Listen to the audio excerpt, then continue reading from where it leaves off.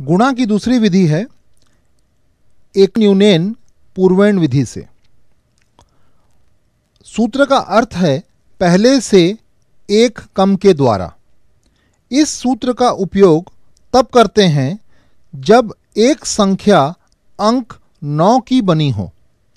इसमें तीन स्थितियाँ हैं।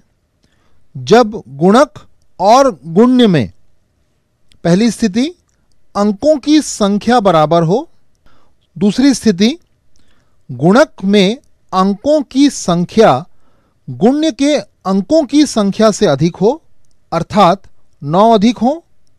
तीसरी स्थिति, गुणक में अंकों की संख्या गुण्य के अंकों की संख्या से कम हो, अर्थात नौ कम हो।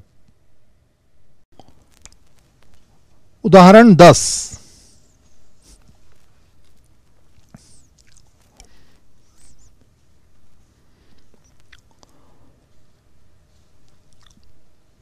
तिरसठ और निन्यानवे का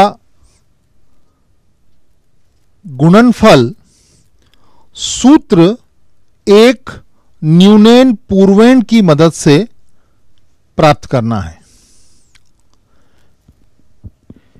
इस सूत्र की मदद से हल प्राप्त करने में उत्तर के दो पक्ष होते हैं, बायां पक्ष और दायां पक्ष।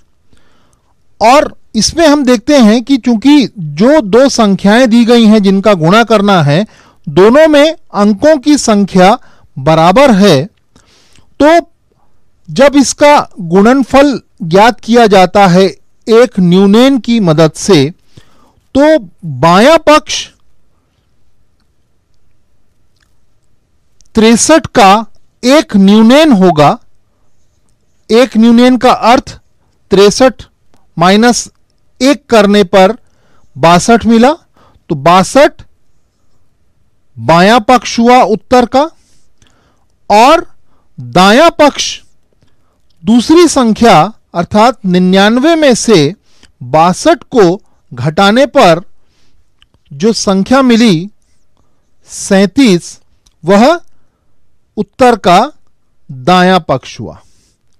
तो इस प्रकार हम देखते हैं कि दिए गए दो संख्याओं का गुणनफल 6237 होता है।